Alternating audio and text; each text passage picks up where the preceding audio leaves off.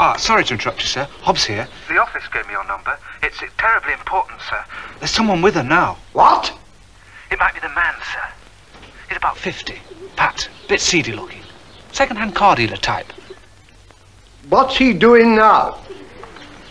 He's on the telephone, sir.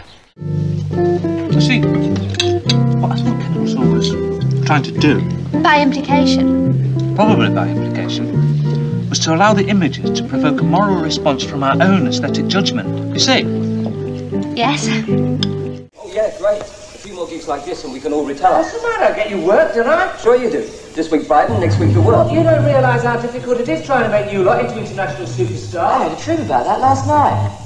It was all in colour, too. All I'm saying is we're fed up with getting nowhere and being broke the Yeah, all that's going to change. I keep telling you. That's the trouble. You keep telling us. Got any snout? What if I had? Well, if you have, all right. If you hadn't, I was going to offer you some. I've got my own. Fair enough.